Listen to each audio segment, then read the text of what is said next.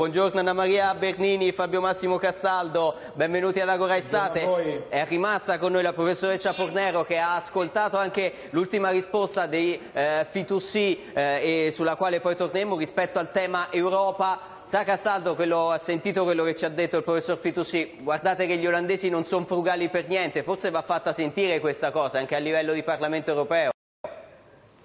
Guardi, io sono perfettamente d'accordo con quello che ha detto il professor Fitussino, sono anni che lo denunciamo e le dirò di più. La proposta che è stata avanzata dalla Commissione europea è estremamente eh, ambiziosa e noi l'abbiamo più Mezzanotte. volte sostenuta e anche rilanciata come Parlamento europeo. Oggi invece l'intero processo decisionale è sotto scacco perché in Olanda l'anno prossimo ci sono le elezioni e siccome il primo ministro Rutte ha una rivalità con il suo ministro dell'economia che appartiene a un altro partito di centrodestra, del PPE, giocano a chi è ancora più rigido nel bloccare questa proposta perché ne stanno beneficiando dal punto di vista elettorale. Questa veramente è un'assurdità tenuto conto proprio di quello che diceva il professor Pidussi, ovvero il fatto che l'Olanda è un paradiso fiscale di fatto, ha delle politiche così aggressive che erodono la base fiscale degli altri paesi, addirittura è stato calcolato che le sue politiche, eh, quelle insieme a quelle degli altri paradisi fiscali europei, ci potrebbero costare fino a 23 mi, miliardi Mi dice questa euro. cosa Castaldo che è molto corretta, cioè che la campagna elettorale di quel paese entra nelle dinamiche europee, però me lo dice come se noi fossimo estranei a questa logica, nel senso che anche noi tante campagne elettorali le abbiamo vissute in questo modo e tante dichiarazioni, no? Questa è un po' una pecca di tutti i paesi europei, nel senso che ovviamente, come si dice scherzando qui a Bruxelles, c'è sempre un'elezione nazionale eh, che addirittura in alcuni casi anche reg eh, regionale o degli stati federati. Sappiamo quanto in passato anche le, persino le elezioni dei, eh, dei lender tedeschi hanno influenzato l'agenda politica europea. Però qui c'è un dice a noi siamo stati appesi alle elezioni del Molise per mesi. Eh.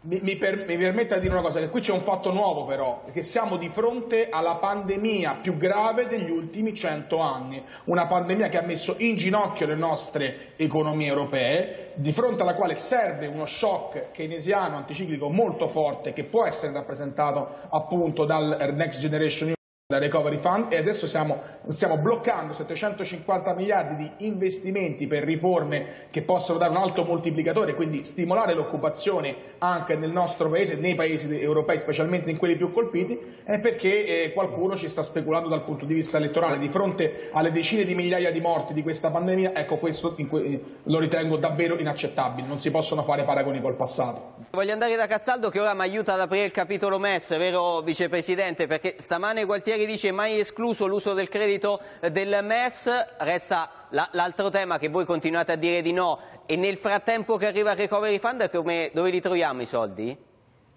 Sono due cose completamente diverse perché la linea pandemica del MES prevede un vincolo di spesa ben definito, cioè quei soldi possono essere utilizzati solo per le spese sanitarie dirette o indirette ma legate all'emergenza Covid. Non si possono utilizzare per, aiuti alle famiglie, non si possono utilizzare per qualsiasi tipo di riforma economica, non si possono utilizzare per gli aiuti alle imprese, sono veramente due concetti diversi e questo dibattito del MES esiste solo nel nostro Paese. Io ribadisco con molta chiarezza due cose. Noi eh, non vogliamo far usare questo strumento per motivi di ordine giuridico ed economico. Quelli giuridici che non sono state rimosse tutte le condizionalità esistenti nella fase di rientro, basta vedere l'articolo 14 del, del secondo regolamento del SUPEC per quanto riguarda i controlli post programma o l'articolo 13 del trattato istitutivo del MES per quanto riguarda il sistema di allerta rapido che danno rilevanti poteri al board del MES, il motivo economico è il rischio dell'effetto stigma. Uno Stato che dovesse accedere potrebbe con questo in qualche modo palesare di fronte ai mercati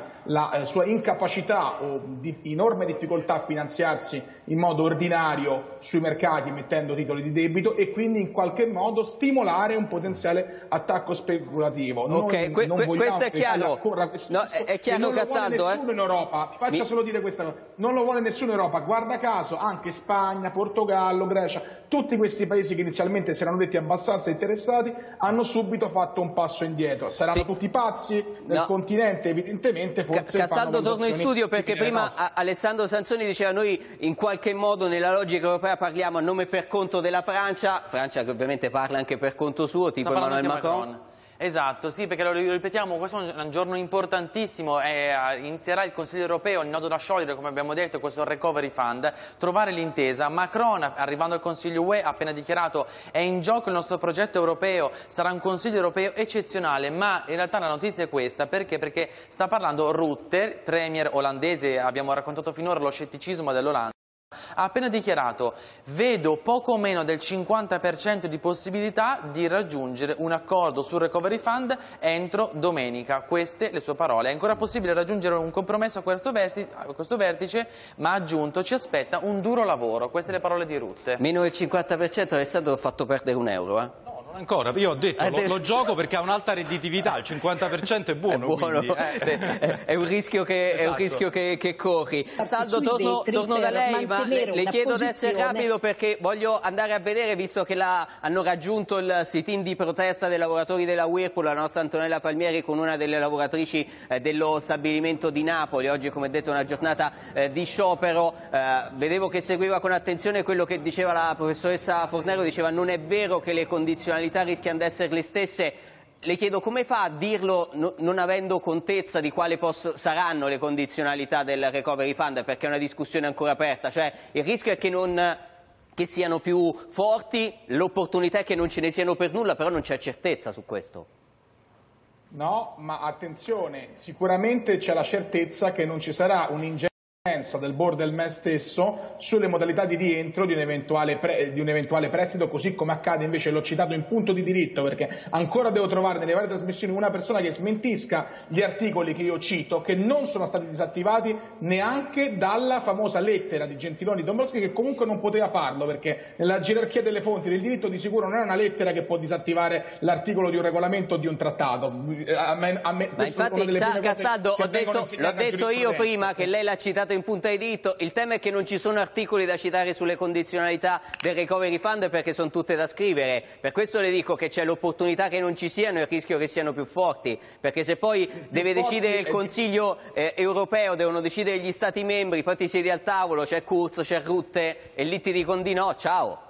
Guardi, nella proposta della Commissione europea in realtà il Consiglio non avrebbe neanche avuto voce in capitolo sull'approvazione dei piani di riforma a livello nazionale. Questa è una cosa che sta provando Michel, il Presidente del Consiglio europeo, a reinfilare nel negoziato e secondo me è un gravissimo errore perché io mi fido molto di più comunque di una valutazione della Commissione che di avere di nuovo un mercanteggiamento a fini elettorali nel Consiglio, nell'imporre strane valutazioni o alleanze di paesi come le abbiamo viste finora, l'asse frugale contro l'asse eh, diciamo, espansivo, nel valutare persino Però onorevole non sta approvando, già è assodato che si passa No, la, la, eh, c'è, una possibilità diciamo molto alta. Auspichiamo, eh, che, auspichiamo, che, non sia così. grazie ai nostri ospiti, ricordo la terra siamo noi, l'ultimo lavoro di Riccardo Bocca. Che di cui abbiamo ampiamente discusso. Beh, torneremo, a parlarne, ovviamente, no, torneremo a parlarne ovviamente. Grazie ai nostri ospiti, ci fermiamo qui, torniamo lunedì con Agora Estate.